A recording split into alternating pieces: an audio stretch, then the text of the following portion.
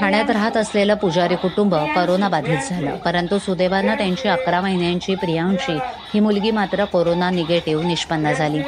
तिचा सांभाळ. आता शिवसेनेचे बाळा मुदलियार यांची पत्नी आणि महिला आघाडीच्या कार्यकर्त्या रिनाताई मुदलियार या करत असून पालकमंत्री एकनाथ शिंदे यांनी टिपटॉप प्लाझा इथे जाऊन या चिमोडीची भेट घेऊन तिच्या अस्थेनं विचारपूस केली.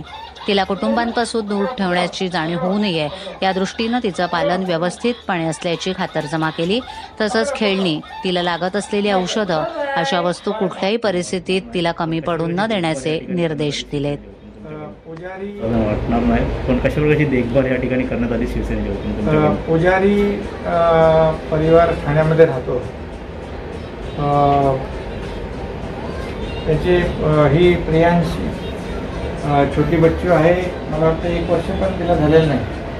आणि हिचे आई वडील आणि आजी आजोबा चारही लोक पॉझिटिव्ह कोविड पॉझिटिव्ह त्यांचा रिपोर्ट आला आहे आई वडील ठाण्यातल्या होरायझन हॉस्पिटलमध्ये ते ॲडमिट आहे आणि चारही पॉझिटिव्ह असताना हे बच्चू निगेटिव्ह आलेले आहे त्यामुळे आता आई वडील आजी आजोबा सगळे हॉस्पिटलमध्ये आहेत.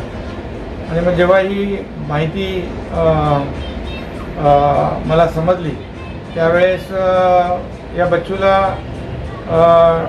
त्याचा सांभाळ करण्याची जी काही परिस्थिती उद्भवली त्यामध्ये मी आमच्या का आमच्या कार्यकर्ता बाळा मुदलियारची मिसेस रीना अ, मुदलियार हिला सांगितल्यानंतर तिने ताबडतोब हिने अ, अगदी लगेच बाबा त्या बच्चूला आपण सांभाळूया असं सांगितलं आणि मला वाटतं किती दिवस झाले?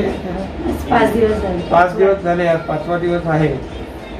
ह्या प्रियांशी या बच्चूला रीना अगदी आपल्या स्वतःच्या मुलासारखं सांभाळ करते आणि ही प्रियांशी पण तिच्याकडे व्यवस्थित राहते खुश आहे. तर अशा आजाराला आपल्याकडनं क- महापालिका स्तरावरती अनेक उपाययोजना करतात परंतु काही ठिकाणी असे रोग वाढत आहे का आव्हान कराल तुम्ही अशा लोकांपासून की लहान मुलंही तुमच्या घरात आहात का आव्हान? नाही आता राज्य सरकार जिल्हा प्रशासन मुख्यमंत्री सातत्याने वेळोवेळी निर्णय घेत आहेत. कोविड